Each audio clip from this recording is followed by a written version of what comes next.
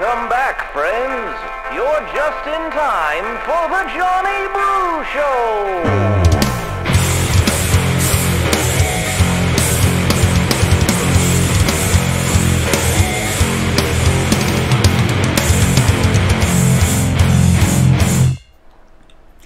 What's going on, everybody? This is John Brookhagen, host of the Johnny Bru Show, and welcome to another special edition with a special interview with another amazing young woman. We had um, Alita Benson on last week, and the um, impressive young ladies continue to roll through. Aren't I a lucky guy? Today, it's going to be Danielle Ford. She's the Clark County Board of Trustees for District F, which is kind of um, the southwest side of Vegas. It's Spring Valley, Durango, uh, Southwest Technical, and then even further southwest than that when you get into some of the more rural parts of Nevada. So we're going to be talking about everything from her growing up. She went to CCSD. Um, to her getting pregnant at an early age and starting a family. She um, had a couple of businesses and did a lot of things in order to empower young women. And then obviously she got into politics. We're going to talk about her um, decision to get into politics, how it's been ever since then, what's going on since she's become a trustee. And then finally, of course, there's a lot of current events that we're going to have to talk about from CRT and anti racist uh, policy to the new grading schedule, masks in school, coronavirus, distance learning. I mean, there's just so much to cover that we're going to have to really get going. I'm going to do my best to keep it moving while still covering everything. Speaking of education, anytime you need any help for your children in school, you got to look up Infinity, the Math Institute. Um, where you don't get more math problems, you get solutions. That's themathinstitute.com. Give them a call at 702 768 1777. And also, what I really need from you guys is I need you guys to subscribe. That's the singular thing I ask from you is please subscribe to the YouTube channel. And without further ado, may I introduce you to Danielle Ford.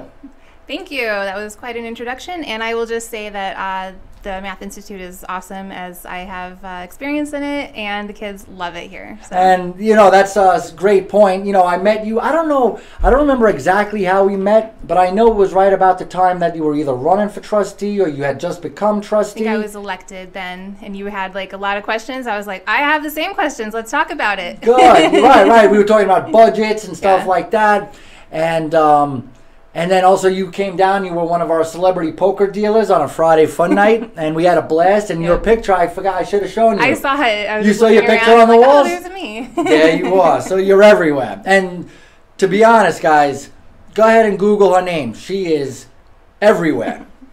so let's get started. First of all, you grew up here in Las Vegas. I was born and raised here in Las Vegas. It's I went to CCSD. I went to eight different schools oh. here in CCSD. I had somewhat of a chaotic childhood um, and often had to move in the middle of the night you know really? and become a you mean chaotic like your parents didn't get along or my parents divorced when i was little like two weeks old oh. uh, so i come from a split home and then you know that's a whole other story but it did lead lead to a lot of like being the new kid all the time starting school in the middle of the year i've gone to schools in all five different districts, not the one that I'm trustee of. Really? but many other districts, uh, many schools, and uh, I, I, you know, I fe- already felt like I had a really solid understanding of the school district, uh, broad understanding. Uh, and then when I became a young mom, my kids also entered CCSD, and so then I kind of, you know, don't got get too far ahead. Jeez, oh well, jeez. I'm just trying to say. I thought I was afraid this was going to be a five-hour interview. If I let her keep going, it's going to be a five-minute interview. I have like 30 years experience with the district. All right, and right and uh, like for example, which middle school did you go to the most at CCSD? I went actually. I went to a private school for a beginning of sixth grade. Then Is I the went one that's to. still here? Um, it changed into Lake Mead. It used to be called Okay. Paradise. And then I went to uh, Cannon, All and then I went to Brinley.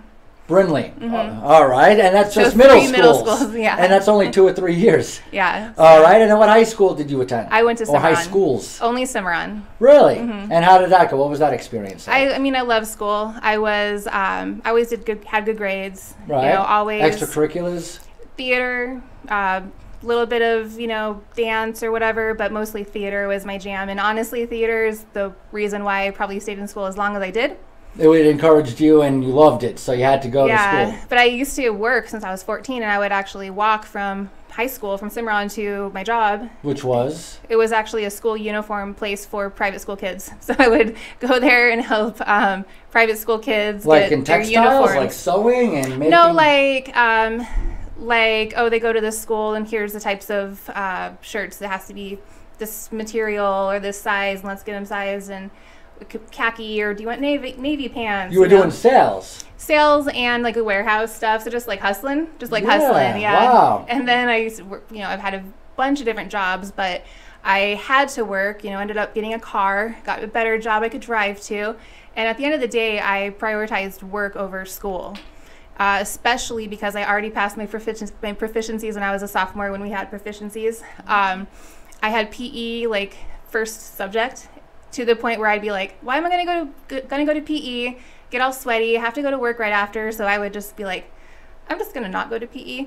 And then by the time I got to my junior year, um, my I was actually advised by my counselor that I should I could drop out, go get my GED Or you were gonna have to take like four or semesters I was of gonna PE do to make up the PE. stuff. Yeah, and so I was like, I just want to go to beauty school anyway. Um, they wanted you to go to 13th grade and take five PE absolutely. classes. And I was like, that's not gonna happen. So I got my GED like the next week, and I actually graduated with a trade from um, with an aesthetics uh, cer- certification the same month that my friends got their diploma. oh, I so was- so you had graduated and gotten a trade school diploma in the Same time that they were actually going through all that. Same month that I popped out my daughter. Oh, So a lot of so, things happened. So when the month you were supposed to graduate, you Yeah. actually gave birth. my would-be senior year i was pregnant and doing uh, trade school and yes definitely i So I you've been going I- like this since you yeah, were 14. i'm just like going going going and it's what i do i don't stop and i'm very curious you know i struggled in school like i even have a lot of tra- traumatizing flashbacks of like going to the wrong class things like that like uh, we have because you're burning schedule. the candle at both ends and you don't know if you're coming or going. because I have ADHD, and I didn't know that at the time. So I went undiagnosed ADHD. Well, even though I was a GATE student, even though I was an honor student, even though I was like I could just read something and absorb it, pass the test, you know, um, I wouldn't do the homework if I already knew it, type thing. And so um, now, you know, after being diagnosed at, at 30 years old, uh, I, I went, you know, looked back at my high school experience, middle school, even And it elementary. answered a lot of questions. Yeah, and I was like that that diagnosis is really why I decided to run for the school board. Now, I don't want to uh, belittle your plight or make less of a true condition, but I mean, I think everybody's got some ADHD. I It's mean, I definitely do, especially Uh-huh. children and stuff like that. But when you're saying you have ADHD, like I said, you're not just um, a kid shaking your leg like me. I don't know how many of my viewers notice, but my leg is always going. Chair's spinning the whole time. so I mean, but you're saying like if it was a measured on a spectrum, you would be almost clinical, whereas I might be like weird. it's like saying everybody has height. Okay, well, if you are four feet tall, you have height. Right. But if you're six feet tall with a lot of height versus seven feet tall, it's still a big difference. Right. And one person's going to be struggling and hitting their head and not realizing why it's so hard for them to get under a door or into a car. And the other person's like, whatever, I have height too. Like it's a Gotcha. It's So a I got a little more height than you, but you got a little more ADHD than me. exactly Probably. exactly. Awesome. All right, and then I mean, one of the most significant parts of you going to high school and everything is, of course, you got pregnant at 17, right? I was going to ask you to tell the story, but I don't know how much you guys know about Danielle Ford, but she's opened a number of businesses. I'm guessing six or seven at least, like shots like in the dark, a couple that took, maybe. a couple Yeah, that mhm. didn't. I'd say that. And also, before TED Talks was a global phenomenon, you did one of the original TED Talks for them. And to be honest, I'm looking for some quick bites and quick video clips. And next thing you know, you got me sucked into an hour long TED Talk because it was, it was really, really interesting. And it's amazing that that was 10 years ago or nine years ago. So uh, rather than hearing it from her live, why don't we hear Danielle Ford talk about um, what it was like having a kid when she was 17 years old and still a high school student? Good to go? Play tape.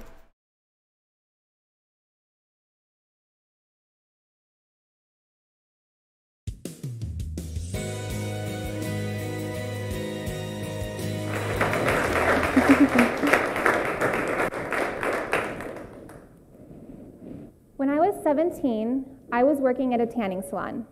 I had just ordered a Port of Subs sandwich with extra pickles, and a couple bites into it, I suddenly felt really sick to my stomach, so I rushed to the bathroom and I threw up everywhere. I came back out and I was kind of going, well, that was weird. And my friend and coworker Jenna, she immediately jumps up and she goes, You're pregnant. I know you're pregnant. I'm gonna go buy you a test. And before I even had a chance to be like, Dude, I'm not pregnant, she was out the door.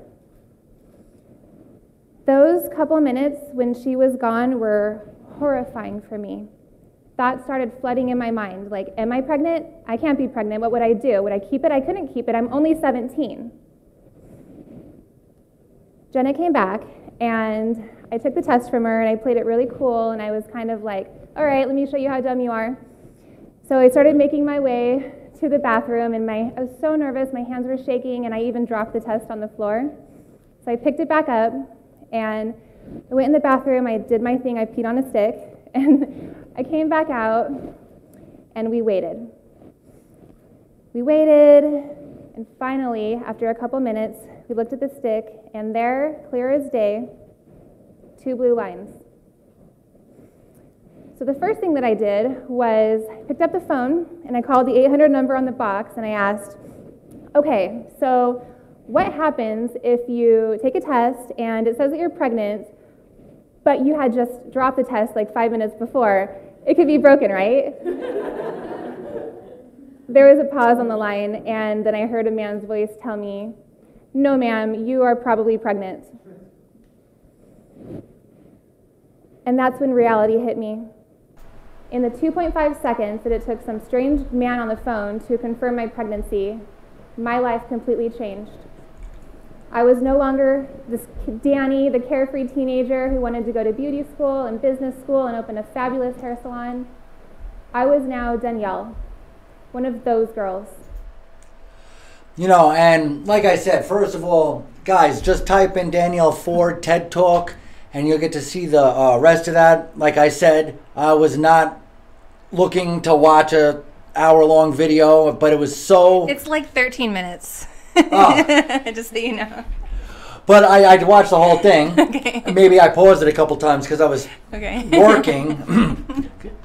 but nonetheless, you talked a lot about being those girls. You talked about becoming a statistic, talking about how, um, you know, girls who get pregnant at 17 tend to get married at 18, tend to have another kid at 19, tend to be divorced at 21. And, uh, and lo and behold, you said, you know, you kind of did exactly that, and you feel like almost, maybe in hindsight more so than at the time, realizing that maybe you did that because that's what was expected of you, and that was kind of like the path you just took. You want to tell us a little bit more about it? I mean, you just said it exactly like I said it, so you, I did you should be giving a TED talk, obviously, because you could do being it. a teenage mom? or something, but you killed it. Um, yeah, it really felt like every, everybody else has the plan for you. Oh, you're pregnant and you're with, I mean, I was with my boyfriend for years at that point. So it's like, oh, you're obviously going to get married, obviously. Right. You know, and then he was like, I don't know what to do. He was two years older than me. We were in high school sweethearts. He joined the military.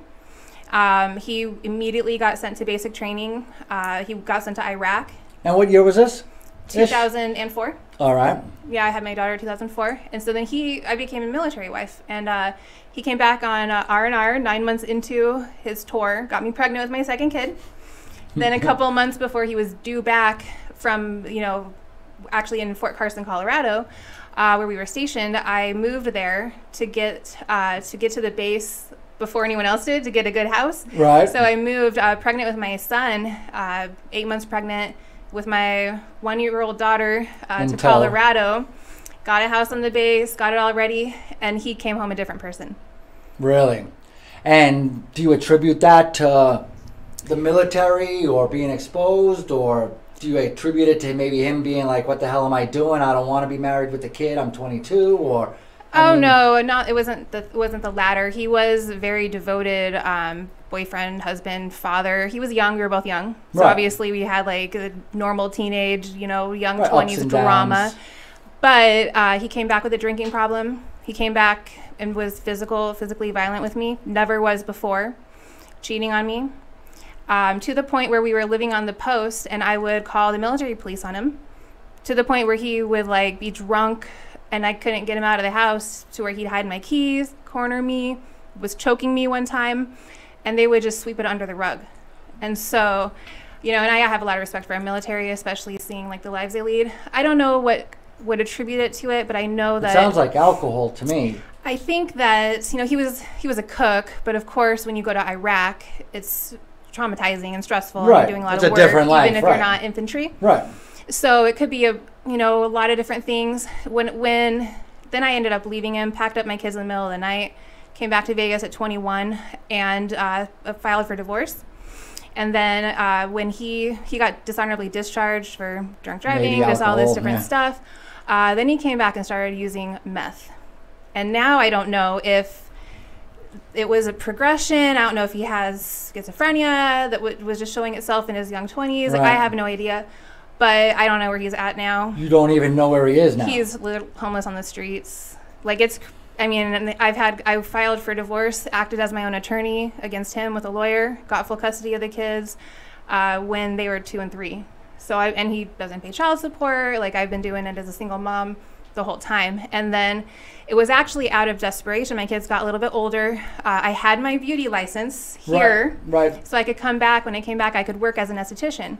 Built my clientele, What did you do? Nails, hair, anything in uh, particular? facials and Makeup waxing and and waxing. not really makeup, but most skincare. So then I built a clientele, opened my own studio. That's when that was 2009, and uh, Did you have a spot like in a strip mall? Oh. well, yeah, it was like a little. I had employees. I was like learning how to franchise. I wanted to franchise it. Um, but that, you know, I was again single mom. I had kids in elementary school, and I would get the call like, "Hey, your son threw up on your daughter," and I'd be like, "Guess I gotta go pick him up." And who's gonna do the clients and train the employees? You know, so it was actually out of necessity for me to close that down. Or was, you know, but I had built that up by social media and videos. and this is the early 2010s. Yeah, and I was doing YouTube, and I was doing great on YouTube, and I was building a following, What were you doing on YouTube? Like esthetician showing, videos? yeah, showing how to wax, showing what a vitamin C facial is, you know, that kind of stuff. Uh, having my employees do how-to videos, uh, and I built quite a following. And then that was when I was like, okay, I get this stuff. Nobody was even really watching YouTube. That was really right. early. Right. And so I thought, I don't know what I, I want to do, but I know I want to make a difference. And now, in hindsight, I think I have things to share around being a teen mom. Right. So I'm going to start an organization called Young Moms Club. All right. So then, so you esthetician brought the esthetician to the YouTube, found that you could garner an audience Yep. using YouTube, and you thought I could probably do something more um, constructive than And be able to work from home. C peels. Yeah, exactly. And I don't want to really do this all day. I did want to franchise out and like learn how to expand Right. and things. But um, I was like, you know what? Let me go learn everything I can about internet marketing. So I learned how to build websites. I learned how to do Photoshop, how to do video editing. Uh, started spokes modeling. Um, started doing like paid. Uh, I was on a PT's commercial. Should have sent you those clips. I was No, on I, a, I think I've seen it though once before. a bunch of and some national campaigns, uh, some you know spokesmodeling for some different like tech companies and green companies coming out, and then I was like learning. Okay, they're paying me to do this. I could do this for myself. Right. Instead of making ninety dollars for an appearance, you can get nine hundred dollars for the advertising campaign. Exactly. Uh, I think uh, when you speak about doing the uh, teen mom stuff, and you, I mean, right away, it sounds like you're trying to, you know, contribute to society. You have a talent for speaking, which I'm sure you knew from your theater days, Mm-hmm. and then now you have a talent for the internet. You're going to try to help teen moms get through what you went through with some of the advice that you were hoping that you wish you had had at the, the time. The things that they don't they teach you how to you know uh, do a diaper how to what formula to use if you should breastfeed no one taught me financial literacy self-care law of attraction goal setting visualization like none of that relationship stuff Well, we have an intro. I mean, I think this was one of your first videos when you launched it. And um, again, guys, all you got to do is go to YouTube or Google if you want to see more of it. But here's a little taste of a young 23 year old Danielle About Ford that, yeah. trying to help young moms who are only like five years younger than she is at the time. Play tape. Moms Club. If you're a young mom like myself then I'm willing to bet that you're probably experiencing quite a few challenges. Have you ever felt that sense of disappointment from people, your family, your friends, even complete strangers when they find out that you're a young mom? You know that obvious feeling that that person is just standing there judging you. Even if their intentions are good, you know that they are just thinking, like, oh, you poor thing, you just ruined your whole life. You know, I mean, that's real though. I mean, for real. I mean, For real. Even you know, I work with kids all the time. If uh, one of my 16 year old girls came in and said, "Oh, I got pregnant," I of course wouldn't say that, but I'd be thinking, "Oh my gosh, you know, what did you do?" Yeah. You know, and maybe I'm not hiding it as much as I think I am. You know what I mean? She's telling I'm trying to keep a straight face, but she could probably see the disappointment. He's disappointed, yeah. And so, you know, how was that for you? And how was it fulfilling, helping others? And did people reach out to you? I mean, tell me a little bit about it. Well, my most of my family is really conservative. And so it was again, you should get married, you know, and then even when I got divorced and, you know, go on my own, it's always like, oh, she's a single mom, oh, she's struggling. And I was struggling. Like, don't get me wrong. Like, even when I left my husband, I didn't have, he cut my, cut up my credit cards, you know, and when I finally got an apartment, I slept on the floor for six months, you know, because I, my kids have beds, but I was like, I have other things to pay first. for. Yeah, and you know, even there's so many things wrong with our system. When I was making enough money as an esthetician to pay my bills, pay for my car payment, insurance, you know, at a basic level, couldn't pay for, you know, childcare. I applied for childcare and they were like, "You make too much money." I'm like, "Okay, what am I what do you want me to do? Like Right, not work?" Yeah. So that's that's another reason why I got into like modeling and making extra money and whatnot, bartending. And when I was in Colorado, actually, I didn't, I wasn't um, certified or licensed to do aesthetics. I went to mixology school when I was at Fort Carson. So I also had a like a bartending license. you know, and I was talking to somebody else about the interview today, and we said, you know, we've all been a bartender at one point, right, or another, especially Right, people yeah. who have a personality and so so on and so forth. So, so you followed the AOC School of Politics. I don't know about that, but I mean, I trust me, I'm not going to criticize bartenders, and if like. I don't know. I, it's very hard to do. so right. if you can make it as a bartender, like you have some good multitasking skills and work ethic, uh, and people skills, like you said. So yeah, I mean, at that point, I was just like, what would have helped me a few years ago? Let me try to put that out into the internet. You know, let me try to attract. So that video actually was.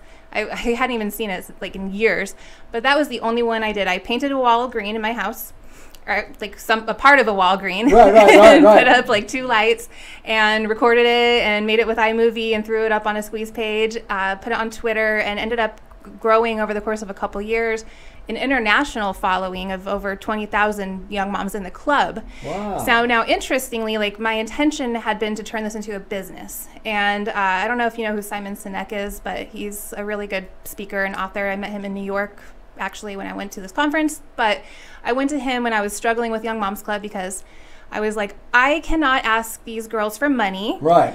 And I remember like having six dollars in my account and having to go to work. Right. And it's like, do I? But I also need formula. But there's a way to monetize. There's got to be a way to monetize. Yeah. If you got twenty thousand people, you might not need money from them, but Exactly. you have exposure to them. Can you get an ad on your thing Yep. or something like that? So how and that so I was already like doing it, like not making money. That's when I realized that eyeballs are currency online. right? Exactly. And so there's things that young moms are going to use, whether it's baby products or for themselves. And so I started learning how to like be like an influencer right. and getting some contracts and people would pay me or send me free products. I would vet it. Like I'm a I do not promote something I don't something like. that you don't like. Yeah. But then you like Huggies, and they're saying, "Hey, I'll give you, you know, two thousand dollars a month if you mention Exactly. Huggies once every time you do a video." yeah so i kind of learned how to do that and then you know i even i monetize the videos they still make money um, like on from adsense just Right. existing in there because they're seo'd really well and then i was people started asking how are you doing this so that's when i started my marketing agency and that's where my business is like helping people passion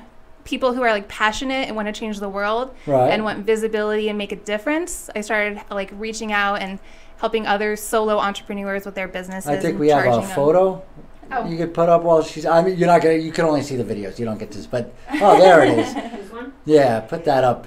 It's gonna be right here between us. Okay. So yeah, and you know, so then I was like, okay, let me and actually, I was giving a bunch of advice for free and like live streaming and building an audience on like Periscope. Uh, Periscope became I a thing. Yeah, I saw that you had a lot of uh, mark uh, helping people with Periscope. I just don't even know what that is. Periscope is it used to be owned by Twitter, but it was like it was the very first uh, broadcasting platform before Facebook Live, before any before YouTube. oh, would so it was like a live YouTube, broadcast. Facebook Live. So it was just one app, and of course, I always like download the like newer apps and just like try them out to see what it is. Mm-hmm. And I was sitting in my car waiting to pick my kids up from school, and I pushed broadcast, and then I see people like talking. I'm like, "Can you see me right now?" and, And you were in. and then I like learned about it, made tutorials like how to use it, and help people grow their business on Periscope. I grew like a big following there. Was invited and hired to speak about it at different events like New York, San Francisco. I was on a panel a panel with um, Winnie Cooper, Danica, Danica McKellar. Yeah, Winnie. Yeah, so I'm like on a panel with her talking about how to use Periscope to get targeted followers. Um, she's really cool and brilliant, and has a book about math. I've heard. Yeah, she's Yeah. she's a math genius. She's Yes. a math teacher. I mean, maybe she's not a Uh-huh. public school teacher, but I know she loves math and. She, I think she did what I'm currently doing, making all those math Yep. tutorial videos. I'll send you a picture of me and her. And yeah, it's pretty Winnie. cool. Um, yeah, so she was, she was great. Anyway, so like then um, Periscope that it just cost them a lot of money to like maintain. They'd stopped, you know, doing that. But I had built such a following there and with YouTube that I was teaching people now teaching people how to grow like uh, grow their businesses online and how to take a brick and mortar online or how to promote yourself online. Um, and so I do a lot of like one-on-ones like vip days and events uh, where i help people build their funnels and so it's like there's a on fordfunnels.com actually is the the ford funnel system where it's like how to get exposure how to set up a landing page how to come up with an intro product a core product an upsell you know Right. um, tar- you know targeted marketing And you never went to niche school marketing. for advertising, marketing, business.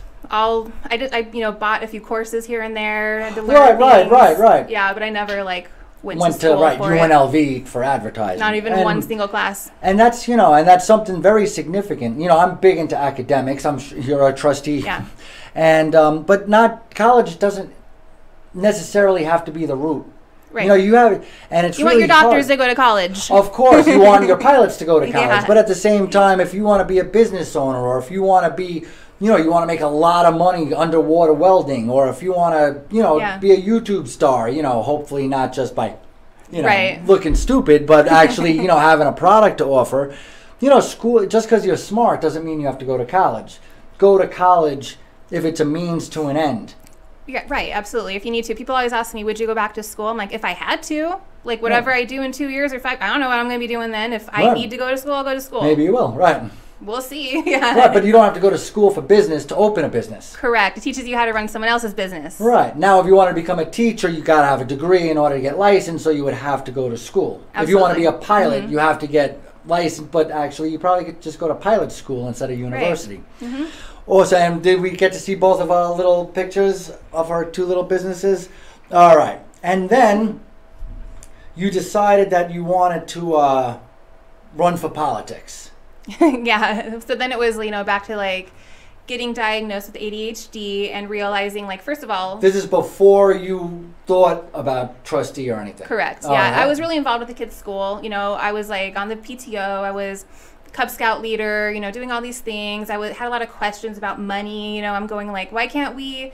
Like, I started a snack shack, and then I was like, let's try to, you know, partner with some farmers markets or these home kitchens and see if we can do all this. And they're like, no, all you can do is, you know, Cheetos brand because we have a contract. And I'm like, who decides the contracts? Right, You know? right. That's crazy. And then the rules, it's because of like the sugar content. Well, this much Cheetos is okay, but an apple is way too much sugar. okay, yeah. But so you started getting into workings of contracts and who gets Yeah. those contracts, and, I was like, I don't know what's going on, but I have questions. So I can only promise you guys like to ask the questions and to share what I find out, but I'm not an expert in education. I think I'm going to just go ahead and run for this and put my name in. And I really had the, the faith, and actually I was going off my intuition, just like telling me like you should run for trustee. And then I'm like, but why intuition? And then uh, do you have conversations with your intuition? Yeah, I do. Many of them. Many of them. Is it a boy or a girl? it's nothing. It's the source. it's source. it's luckily. It's God. It's God, but I'm not religious, you know. And so um, that's a whole other podcast. Okay, yeah. we'll talk about that. Yeah, I don't even have that written down yet. Let's talk about religion. Yeah, um, mm, I could go there. No, so and then you know I'm like, okay, I'm following it. Then I was like, I think I can just do it. I didn't really raise that much money. All the money I raised went to signs. I did like, Right. and that was in the general election. I actually won the primary with fifteen hundred dollars. All right, uh, you got a video ready for us? Oh. We got a video of you after you had won the primary and preparing for the general election. Yep. Let's uh, another walk through the timeline of Danielle Ford. Okay. Is Danielle Ford, and I want to personally thank you for helping me win the primary election and beating out a field of nine candidates. I was never the establishment's pick. However, with your support, we were able to make it this far. But now I need your help once more to make sure that we have representation for students, families, teachers, and support staff on that school board. And I need your help by voting for me in the general election on November 6th. Let's work together to make sure that our children get the quality education that they deserve. As a single mom of two CCSD students, I have been very involved in their education over the past decade. Our family went from struggling just to make ends meet to growing a successful business, all while volunteering in classrooms, serving on the PTO, and leading Cub Scouts. I am the only candidate in this race who even has any children and who gets it when it comes to understanding the real life struggles of families and what it's like to be genuinely concerned about our children and their future. With your help, I pledge to advocate passionately for our children and toward the goals that benefit all of us. So please, on November 6th, cast your vote for me for School Board Trustee of District F. You can learn more about my stances at votedanielleford.com. Aw. this is like I have not watched this stuff in Little so long. walk It's down memory good. lane. Yeah, it is that. Well, you know, that's the coverage you only get from the Johnny Bru Show. I like it. Thank you. Um, so, you know, like I said, that doesn't look like it was produced by a political PAC.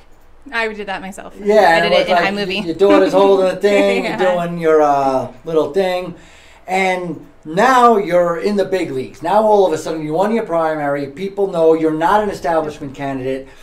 Uh, would you classify yourself as a Democrat or a Republican or anything like that at that time? No.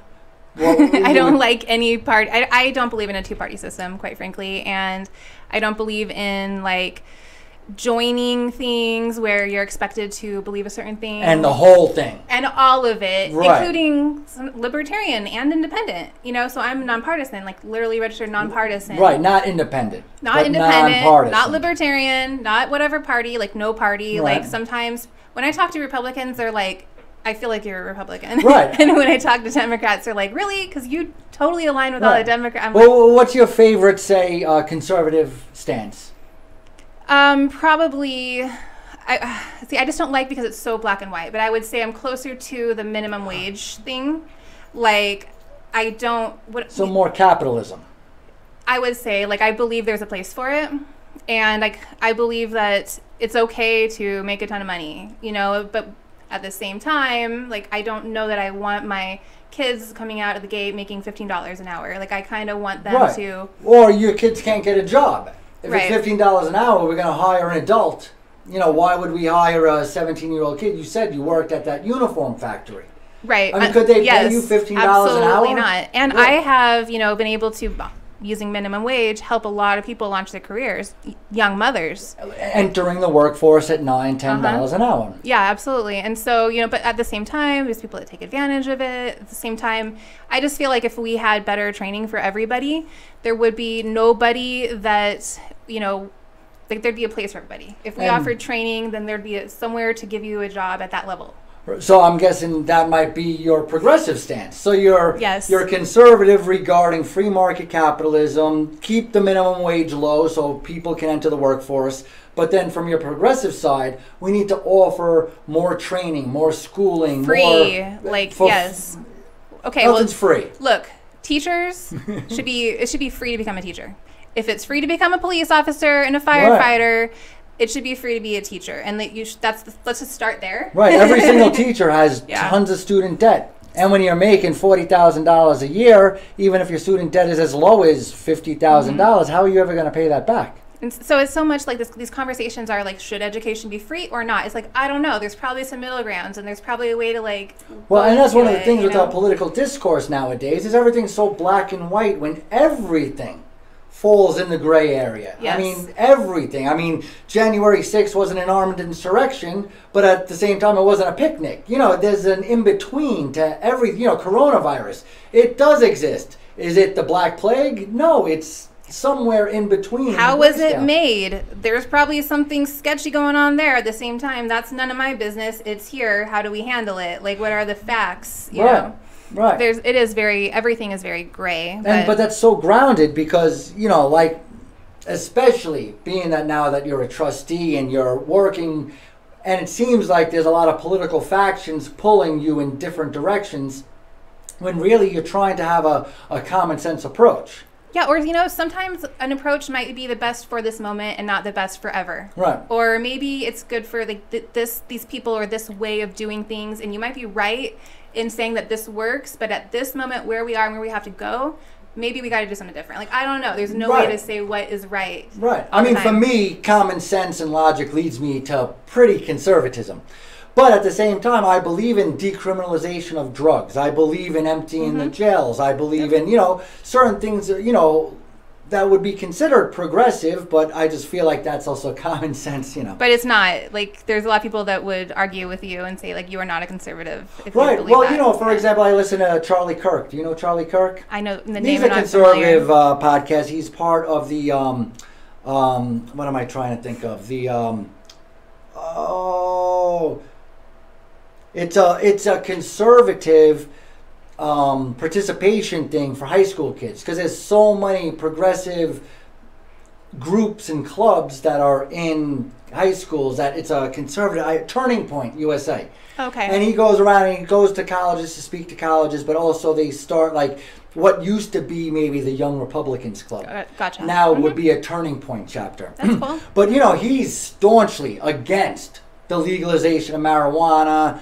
and you know certain things that I don't necessarily agree with. You know what I mean? So, Mm-hmm. but at the same time, they'll tell you I'm very, very conservative in most aspects of my life, and I feel like that's common sense. But like you said, Yeah. you know, I don't consider it free training. I consider it government sponsored, taxpayer funded. Oh, absolutely. But yes, but then do we? I want to use my tax dollars for that. Right. So that's what I want to do. Right. you know. And you know, and then, but sometimes I hear people. I had um, a conversation, for lack of a better term, on Facebook where you know the people are saying they want a return on their investment, so they want you know free schools, free daycare, and I, I explain to people, you know, it's not your taxes aren't an investment. Your taxes are supposed to just build the roads, just keep the country going, but otherwise we should be free. And you should, you know, you want to go to school, great, you could go to school. You know, we supply K through 12, and then after that, you know, You get the return on investment when you are 70 years old and the people making the decisions for you are educated.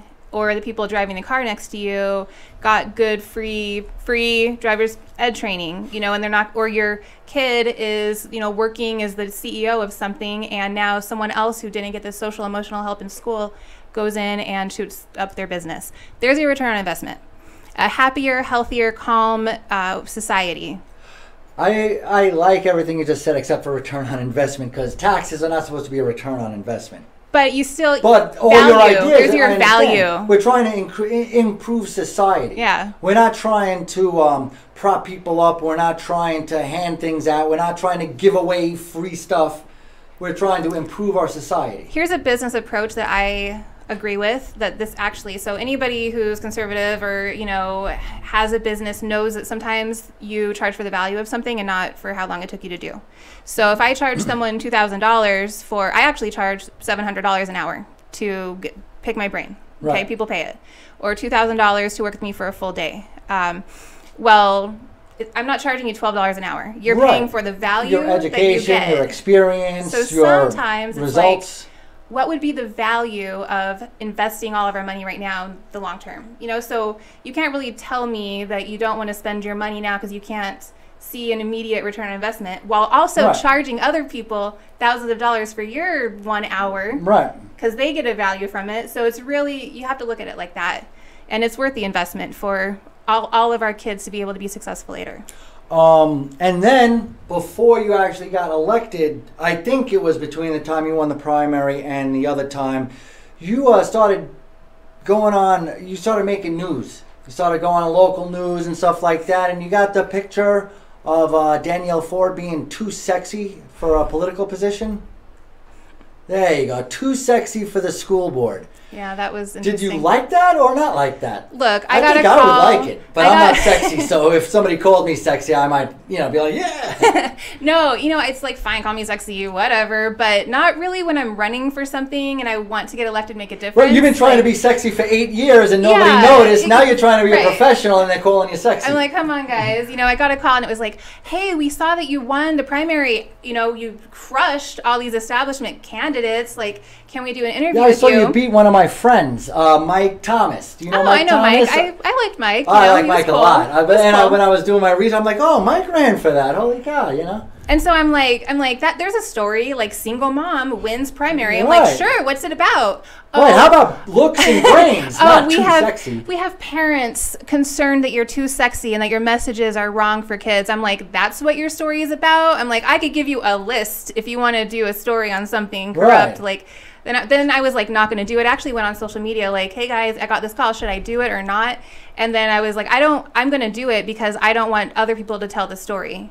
Right. know, or she Well, wouldn't. And, and then these people are trying to look for your PT's commercial. Yeah. And, you, you know, I guess on Facebook or something, do you got the picture. She put up some boudoir pictures, which I I don't know. I remember like 10, 15 years ago, you know, I used to be a bartender and stuff. Like, all the girls were doing these boudoir pictures. You know what I mean? Yeah. And First so, of all, that particular one is a good friend of mine's uh, photography studio, and I used to model for her all the time. So that, and she like even for conventions. So actually, this is education based because she would have people come here during the photography convention, and they would learn from her, and she'd have a couple of us like modeling and teaching them how to do boudoir, boudoir photo shoots. So.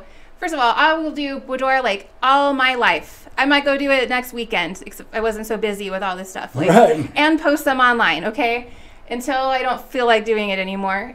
Whatever, that would be in a bikini. That's art. right. I'm promoting my friend's business. I'm happy. Like, the problem You is people that's art? sexualizing everything or making it wrong to feel sexual. Right. Which leads right into like all the, you know, too sexy for the school board because the video was how to be sexy. Right. that they and- were upset about. And then the other question is, you know, what if you were a six and you had these pictures?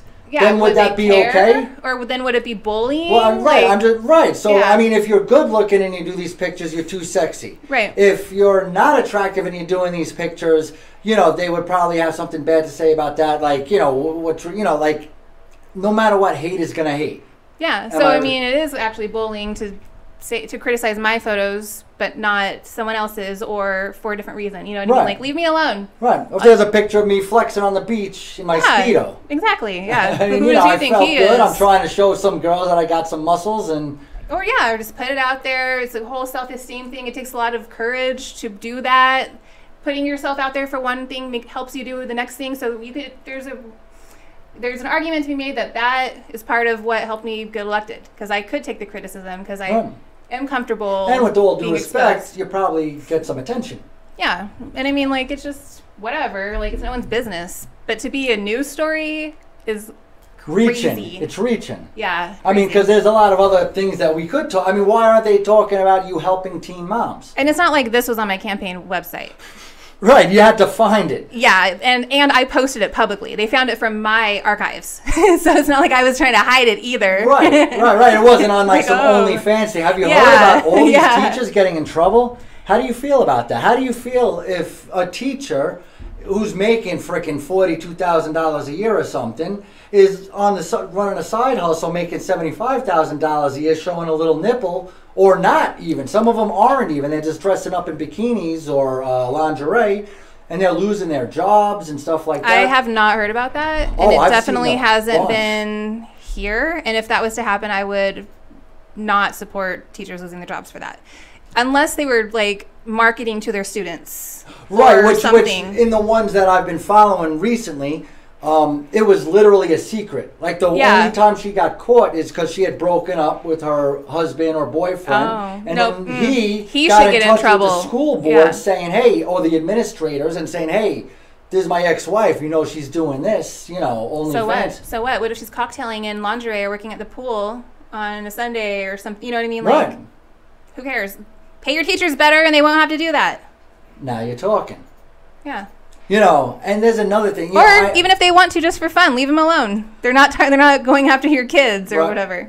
Exactly. I mean, literally, because the only fan. it's not even like she was doing it on Facebook. It's an OnlyFans. where, Yeah. like, I don't know how that works, but I think you like gotta pay to get access to those certain pictures and stuff like that. That's why it's kind of exclusive. I don't know how it works. Whatever. From what I understand, when you become a teacher, there's no oath that you take to never take a side job or to always be this in your personal life. Right. Whether it's supporting or defending or I bet you a lot of teachers are working industry and dancing, and of course they're not telling anybody, but they have every right Well, to be. and then we get into other things such as you know if somebody is on Facebook and they're a teacher and they don't support LGBTQ or they do support it or they love Trump or they hate Trump or you know they you know whatever the case may be everybody like we're talking about has so many varying opinions on so many different social things and like you said if you're a part of the progressive you got to be all in you got to be against Israel, pro Palestine, pro LGBT. You got to be pro, uh, you know, legalization. You, you got to be all in because once you say something like, "Oh, I'm for everything," yeah. but I defend Israel, you're out. I'm Yeah. for everything, but I just think there shouldn't be uh, transgender people doing story time to four year olds. You're out. You know, you have to be all in, or you get, you know, the mark on your face, the scarlet letter, or whatever that may be. I you- support that. Like, I believe. oh, see, I, if a teacher was on Facebook being like, math is the worst, why are you learning math? You know, like, you can't do that. Like, you're a teacher. You can't go criticize math, okay? Right, But, so, how, but what would be the repercussions? well, I don't know, but that's like something that I think would be warranted to be like, why are you over here? Your kids might see you. You're putting it in their mind like they shouldn't care about math. Like, to relate that to, uh, it should be anything that like direct or like directly affects students. So I would say that things like uh, talking bad about uh, transgender people when our, we know a lot of our students are Right. shouldn't be. You know, if you want to talk about Trump in general, Well, you know, what if a teacher said, "I want, I wish somebody would put a bullet in Trump's head"?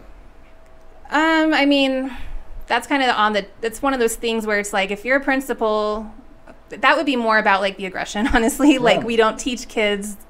They can't say that in school. You know what I mean? Like the, you can't say that about another student. Right. So whether it's Trump or someone else or the person at the grocery store that you're that talking fall about, under your purview or the school? I think it does follow somewhere in there, and it should be more clear so that these things don't happen. But yeah, like any behavior that would be like get a kid expelled or whatever, teachers shouldn't be doing either.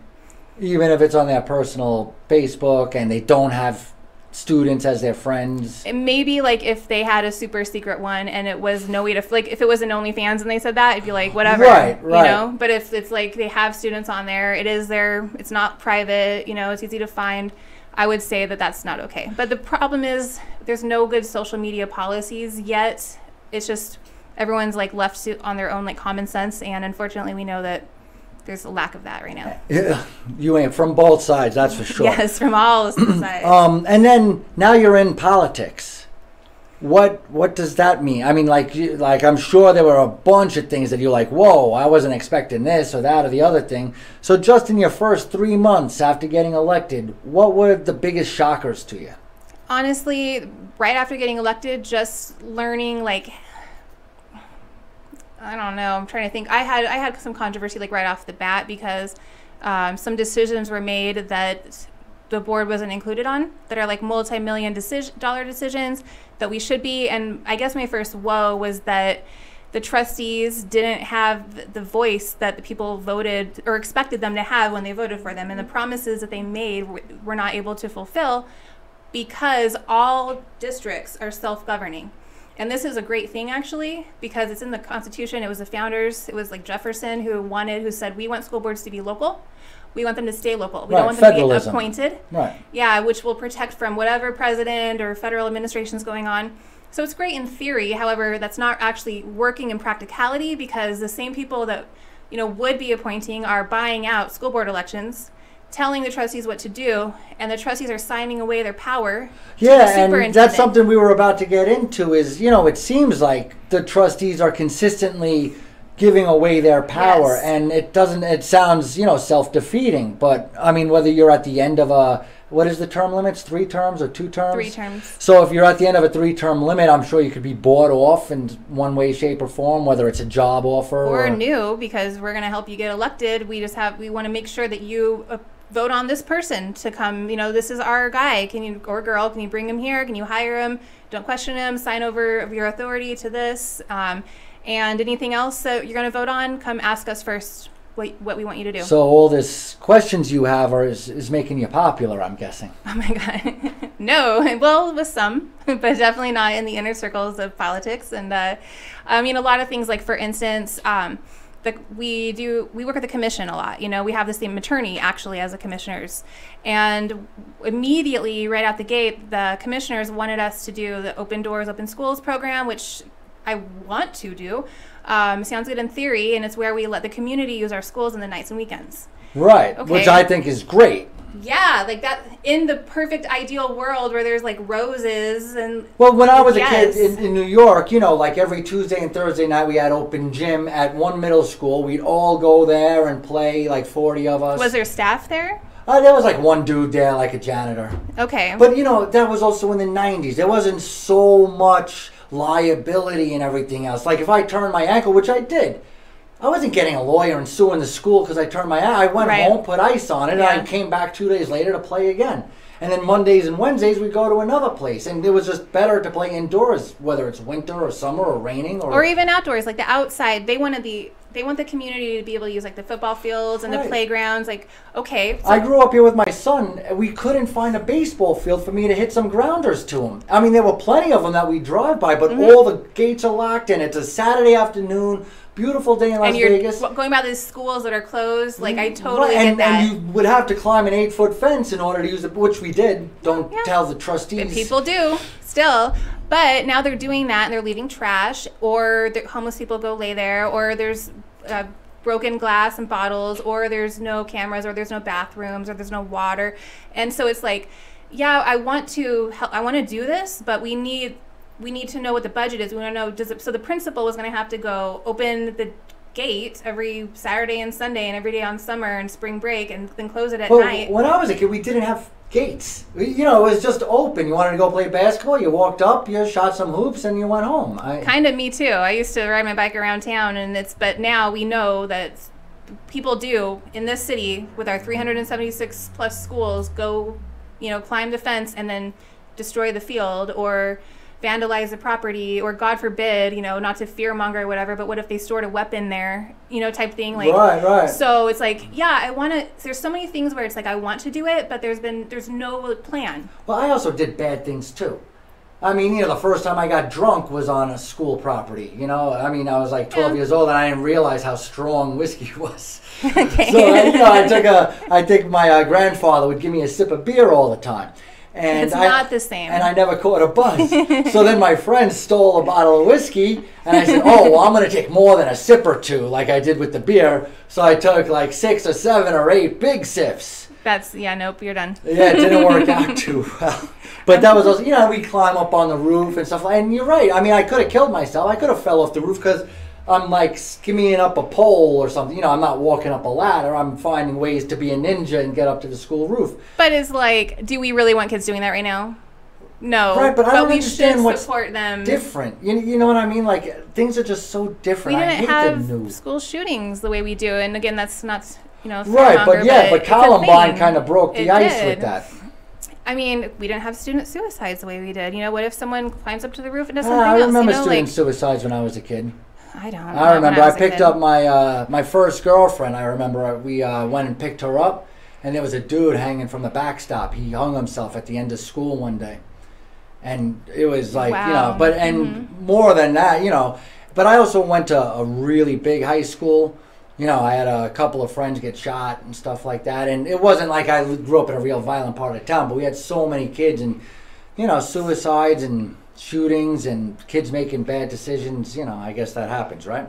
Well, we're also like super overcrowded. It's like we already our schools don't have enough money, and then if even if they ruin something, there's no money for it. So my whole thing was like, everyone was mad at me for saying no to it, but I'm like, is the commission going to give us money? Like, you know, who's going to pay for this? Or the trash can that gets lit on fire or something? The principal is that going to be instead of buying a computer, you buy a trash can? Like, just better answers. And so the whole thing is like when you say no to something or you don't just go along with what was predetermined by someone else, they all hate you. So I don't Right. know how many politicians besides like actually support me. like honestly, I, I think a lot of teachers and parents do, Right. but I don't know that I'm getting any Christmas invitation, Christmas party invitations From the Republican or Democratic by Party. any of them, any of them. And with education, it, it truly is nonpartisan in the sense that the people that benefit from the curriculum, these large contracts, and these national orgs are it's the party. There's no party line. Like they're Democrats and Republicans, and they have their they're like working together to keep the machine going. Right. So even if I say this person is doing this and he's a Republican,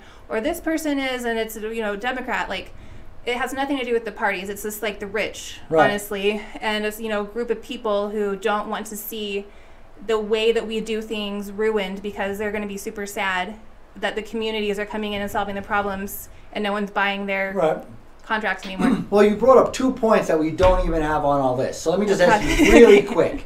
First of all, my question is this. We have overcrowded schools, right? Every class is, you know, 40, 45 when it should be 30 Some or are 35. 60. Well, Yeah. that's disgusting. But nonetheless, you're looking at 40 to 45 on average when it should be 30 to 35 on average. Mm-hmm. And then we're talking about school choice, we're talking about count day, we're talking about all these things. Why does it seem like CCSD is so hungry? I mean, I know why they're so hungry for a large count day because that means more money. But at the same time, if 10% of the students left and went to charter or private schools, which reduced you from 40 to 36 or whatever the case may be, and reduced the student population overall by 10,000 or 8,000 kids, making it more manageable. Wouldn't that be better for everybody? I mean, in a sense, but it would be better if we just had more schools and well funded because, you know, if count day happens and 10% are gone, well, now that school has to cut teachers. but then you're back to 44 And kids. exactly. That doesn't make sense. I mean, you should. I'm guessing a school is built for a thousand kids, and it's got you know a 100 classrooms, so that Mm-hmm. Sure. way you know whatever. I know what you're saying, yeah. Right, and that's all set up. All right, now we got a you know now we got 1,100 kids. Well, let's you know 100 of them are going to go to charter school or private school or homeschool, and now we're back to a thousand. Why is there now not enough money for that school tell you why. when they have exactly the number of kids they're supposed to have? because now we're in August or September, whenever the count day happens, but principal budgets are due in June to the state. And the principal has to try to predict how many are going to go to homeschool and private and charter. That's fine. Get your education, you know. But they're going, I think we're going to have this much. We're still over capacity. We're Rancho has 2,400 kids that is on a school that's set to fit like 1,800 or 1,600. Okay, so there we're over But capacity. I need this they many can't teachers. function with only 1,800 fi- financially. they could, but if they plan for this much and then a hundred leave, you know, that's a hundred times six thousand. Well, now they're cutting teachers. We're Why cutting bus drivers. You know, when they, we used to put our budgets up to a vote in New York, and what they would do is they would punish the voters. If you didn't vote for the school budget in New York, the first thing to go was the buses. Why? Because then parents would have to drive their kids to school, they'd be inconvenienced, and that would motivate them to approve the budget instead of getting rid of, you know, um, curriculum writers or, you know, you know, you got four school secretaries, get rid of a secretary instead of a teacher. But they wouldn't do that. They would get rid of the buses or the football team in order to most negatively affect the people who are voting on it. Why would the first thing to go be a teacher? Why wouldn't the first thing to go be a curriculum writer on Flamingo? well, because it just goes by how many students we have left, you know, and then if we have to move them around or whatever, like now we have okay, let's say all these kids. You planned out classes, you did this, and the kids that left were all theater kids. Right. and we had two theater whatever well now we don't need one of the teachers like that's just i'm not saying like that's always the first thing to go but that's kind of like what ends up happening in the But shuffle why?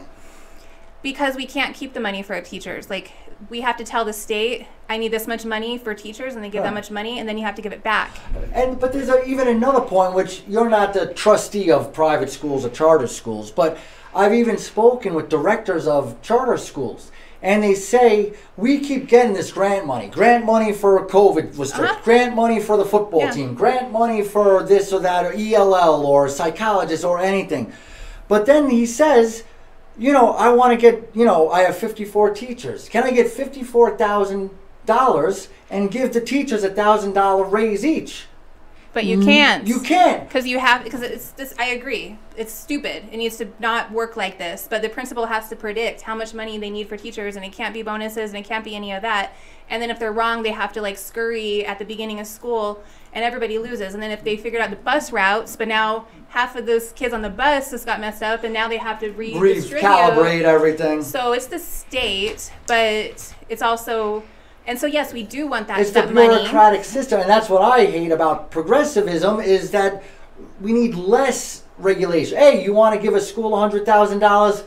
Thank you very much. I think we just need tighter regulation because I can tell you right now Oh we God. waste money, but we still don't have enough money. It's both. That's my point. Yeah. That's why I think we need less regulation because, like I said, uh, a couple of charter schools are sitting there and they're getting this money and they have two hundred thousand dollars and they're trying to just like you guys right now. You, you're getting get all this too. Money to money. wonder what to do with that money. But meanwhile, the teachers are begging for more money. You guys want better teachers, Mm-hmm. but you can, now you got I forgot it was some crazy number, eighty million dollars or something that you got to decide how to spend. Oh no, eight hundred million. like it's like it's a lot of money. Yeah. Right. Why can't we? That 800 million, first of all, you could put that into a bond so that way you could make money off the interest and you could give every teacher a raise and use that money as principal to continuously give these teachers more To money back in. without losing a mm-hmm. cent. And you guys don't know where to spend the money, so why not invest it in your human resources? I'll tell you that I will tell you this. This is we discussed these in closed session, so I can't give you details, but I Right. will tell you that there are several trustees who want who would love to use that money to go straight to our employees, not just teachers, but you know, admins, right, right. Nurses, staff, bus everybody. drivers. We would love to, but uh, the current uh, leadership, um, everybody who's in those conversations, is adamant about not doing it because it's not fiscally responsible. Because we're, you know, raising how much money we spend each year, and then that's not replenishable. How does So we have three And- years to spend that money. By the way, Right, and and we need to take a break. We're already over of part one, and we're gonna get back.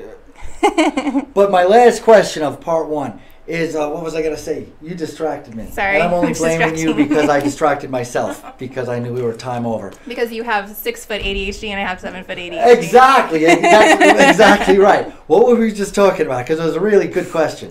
Um, let's see. Let's go in reverse. There was the money, the, The teachers paying the raise, the bonds. Um, how come? Oh, there we go. So, the teachers union, I don't care if you're talking about CCEA, NEA, the American Federation for Teachers, AFT, they are the strongest, most politically influential unions in the country, probably in the world. They give more money to politicians than any other union in the world. You can go get a job holding a drive slow sign and make $120,000 a year thanks to the Teamsters. You could drive a 18 wheeler and make $120,000 thanks to their union. Why do the teachers have the strongest union and the absolute worst health care and the worst salaries? That's quite. it doesn't that, I have been trying to figure that out, but the current teachers union that we have right now is disaffiliated from national. right, the CCEA, of course. Yeah, and so I, I'm trying. You know what? If somebody But can prove, hold on, hold on. If somebody can prove to me that the current leader of the teachers union didn't come here to completely screw teachers over, I let mean- me let me see that evidence. And teachers, what about students? I feel Well- like students are getting screwed even more than teachers who are Absolutely, getting it trickles down. You need, you need like, a happy, healthy, educate, smart teacher showing up, caring right for your students. Not an eighty thousand dollar curriculum writer on Flamingo. Thank you very much. Thank you very much. Thank you. Or Alright. or how about like a thirty million dollar software that we have to pay Program. every program? when you had somebody in 2012 who was doing it for $55,000 a year, basically okay. for free. And then he mm-hmm. leaves and sells you the damn program, and then you guys only pay for half the program, steal the program, use it the wrong way, so you gave away the guy who was doing it for free. Then you paid a million dollars for the program, and then you renege on paying the second million dollars, try to pirate the program, get it wrong, and destroy all the work that they were trying to do, which would have helped your The program- from five to sixth grade. The same you know program that about. the state loves, that other districts You're love. making me sweat, man.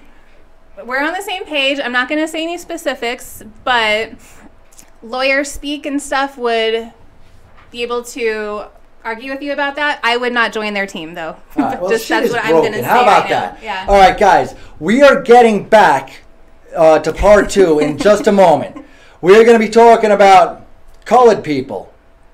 Well, Huh? Well, you know, this Uh, is this is my tease. You're that, not. that would go towards the CRT This is topic. this maybe. is this is my part. yeah, we're going to be talking about go ahead, right? Go people ahead. of color. yes, thank you. Oh, okay.